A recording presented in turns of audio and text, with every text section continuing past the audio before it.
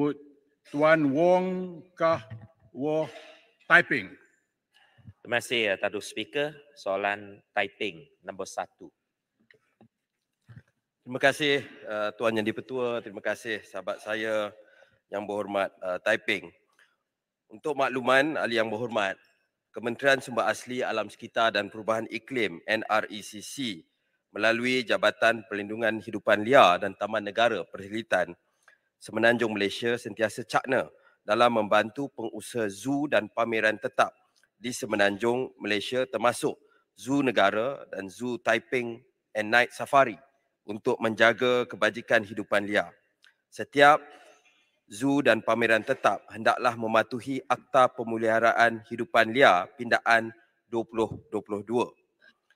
Zoo negara dimiliki dan diuruskan sepenuhnya oleh sebuah badan bukan kerajaan iaitu Persatuan Zoological Malaysia, Malaysian Zoological Society.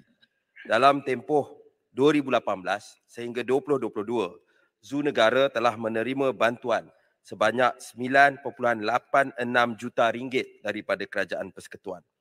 Dari jumlah ini, sebanyak 8.5 juta ringgit disediakan oleh Kementerian Kewangan untuk membantu kos pengoperasian manakala 1.36 juta ringgit bagi menampung kos makanan hidupan liar, pengurusan husbandry dan ubat-ubatan menerusi bantuan dana prihatin kebajikan hidupan liar di bawah inisiatif kumpulan wang COVID-19.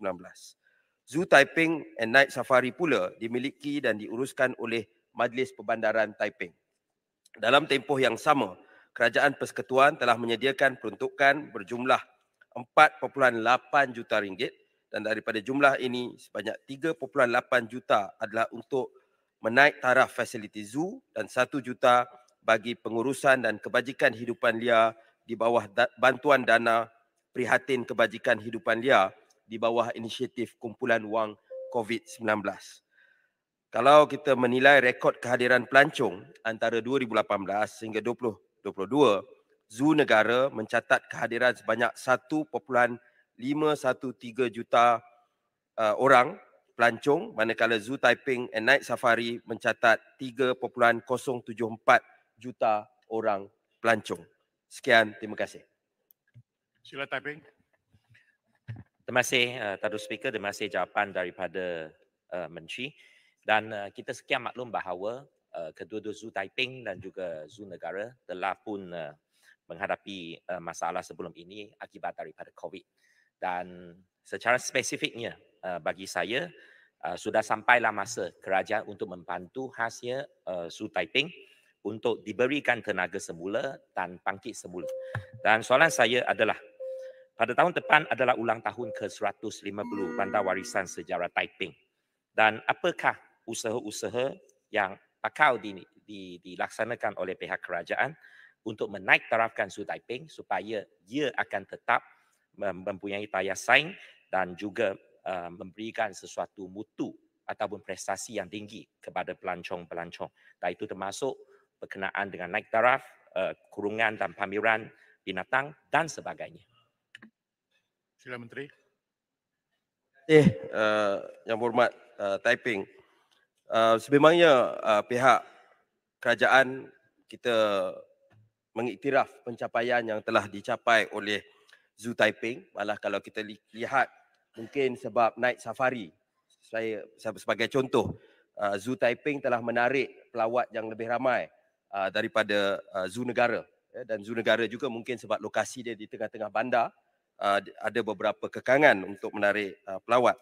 Jadi um, atas sebab itu uh, sememangnya kita uh, melihat rekod yang ditunjukkan oleh uh, Zoo Taiping sebagai satu rekod yang uh, baik dan um, daripada kita ada secara keseluruhan ada 36 permit uh, yang telah diberikan kepada zoo dan pameran tetap uh, di seluruh negara dan um, fungsi ya bagi peringkat uh, NRECC ialah fungsi utama zoo ialah sebagai menyokong aktiviti konservasi sebagai hak pendidikan dan kesedaran awam sebagai ruang rekreasi rakyat sebagai hak penyelidikan dan pembelajaran dan sebagai pusat latihan kepakaran bidang khusus.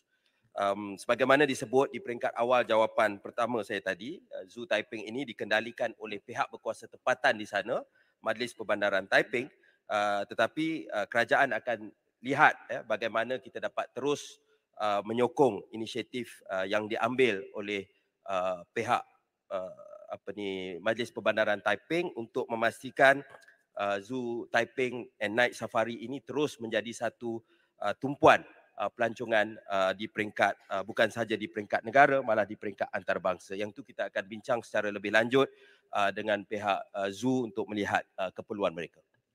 Terima kasih. Saya jemput Kuala Krau. Kasih uh, Datuk Betul.